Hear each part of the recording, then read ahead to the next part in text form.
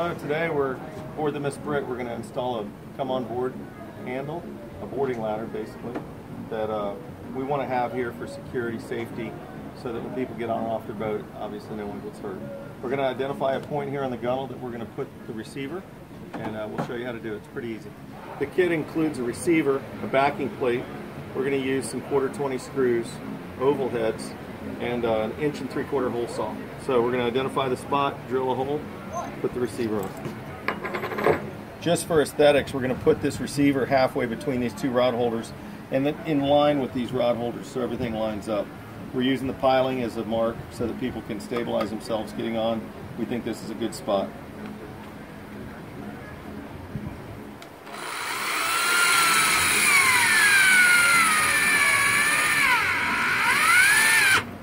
This hole is make sure it's clear behind it.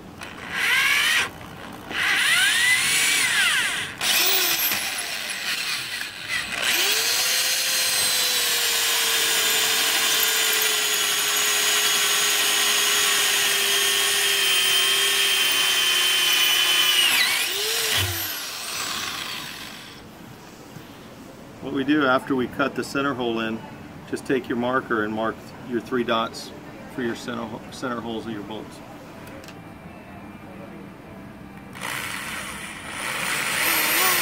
So another feature that this kit has is a tapped backing plate. Very important to install this backing plate underneath uh, the gunnel. And if you notice, it has threads built right into it, so no nuts needed. Another cool feature in this handle is it has a double button system that allows you to lock the base into the receiver. Allows you to lock the handle into that arm. Looks like our work here is done.